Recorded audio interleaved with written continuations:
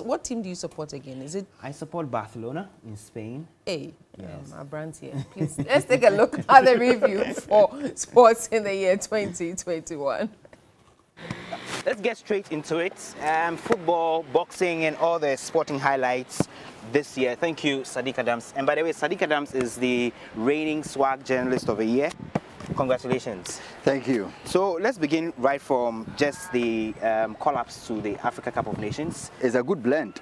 For Milo, I was saying it um, after the announcement that this looks like the work of Milo, 99% um, his decision and choices, especially with um, five local players. This will be the first time in many, many years that you have such uh, a number of players, especially outfield players uh, being in the Black Stars squad for the AFCON. It's interesting, but to win the AFCON will be very difficult. Not impossible though, but I believe that winning it will go beyond just the squad. Let's talk about the qualifications, I mean, stages. We also know that we are still in the running for a World Cup place. Very tedious um, how we qualified. Uh, the victory against South Africa was a Pyrrhic one because the Black Stars ordinarily should have beaten South Africa by, I mean, two or three goals, even home and away. That's how it's been for the past 20 years. But the manner in which we qualified, having to go to FIFA and uh, the anxiety of waiting tells you that the team is not really in a good shape. I think that the coach came in to make a quick fix um, and he did it. Qualify for the afcon playoff of the world cup and um, what we need to do is to wait um, further the match to be able to decide if the team will gel well by uh, then after the afcon to be able to progress. and, and that remains to be seen. But a quick touch on the controversy about that game that led south africa to file that complaint to fifa. Was it without any merit?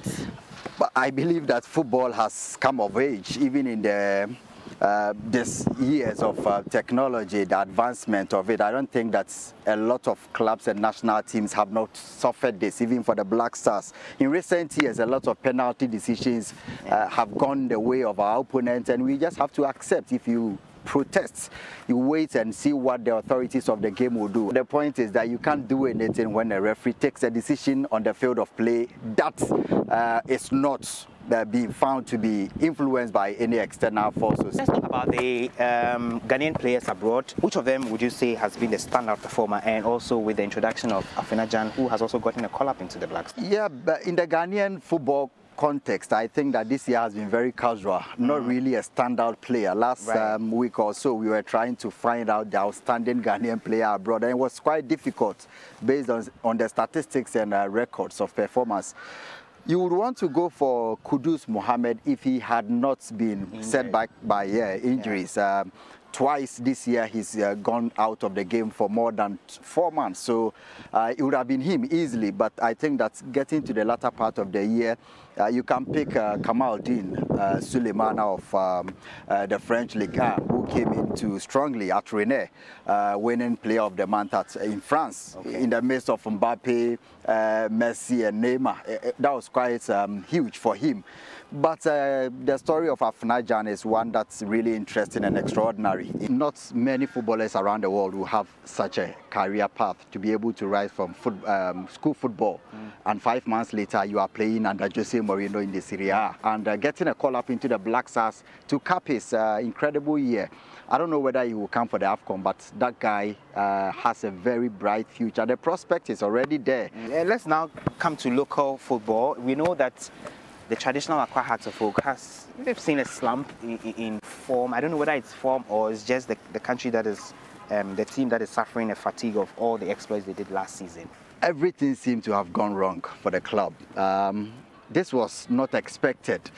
Uh, to be honest, because they let go. That's been the usual Ghanaian uh, club I mean, the pattern was that to win the league and sell most of your top players. But of Oak were able to keep 99% of their players, with the exception of uh, one player who left the team in Benjamin Afutu. All the players were kept, uh, even with um, huge advances from other clubs on the continent. But to be able to progress on the um, continental stage in the Champions League, in the Confederations Cup, you need more. The yeah. players have really lost touch and the edge to win again. And the B at the hands of WAC really uh, some humiliation, eh? Complete embarrassment. I believe that it was a huge toll on the team. Yeah. And uh, to be called Ghanaian champions and then suddenly uh, be whipped by six goals to one uh, was was something that they, was difficult for them to deal with, and they've not recovered uh, since that uh, incident. I believe that they needed a psychological, I mean, touch to uh, after that walk their defeat, and they had nothing. The coach still needs more hands to work. So beyond Hearts of Oak, the, the local scene, which clubs are standing out, which players are making incursions, you know, in the Premier League season thus far? I think since 1982 no Ghanaian chap has been able to take the lead by storm, like how Fatawu Issahaku has done okay. uh, from Division 1 League. Abedi Pele moved from the Coast League as the Coast best player in 81 to RTU in 82 and took the league by storm. Fatawu Issahaku's form and talent is, is I mean, very um, apparent for everybody to see. Uh, six games, six goals, three assists, two, I mean, man of the, three man of the match, one player of the month award for a 17 year old. But he, he plays, I mean, like he's, he's playing with his age mates uh, at that level. He, so far in 2021, I believe that he's the standout player in the league uh, so far. Let's speak about Hasaacas ladies. They've had an incredible year this year, have they not? It had to be the CAF uh, Women's Champions League to bring them onto the continental stage, but they've been doing this for the past four, five years, so winning everything, uh, I mean, on display, on the local scene, winning the Ghana Women's League, uh, winning the FA Cup, winning every other tournament that's organized in the women's division. And um, I was very glad that there was a maiden edition of the CAF Women's Champions League. Uh, they went there, they did their best, got to the final yeah. against one of the world finance women's club uh, clubs mm. on the mm. continent, uh, Mamelodi Sundowns. It was going to be difficult for a team that went there by donations from individuals to play against a team that had been promised $14,000 each to win the, the trophy. So I think the Hasaacas ladies have shown that they are prospect, they are talents.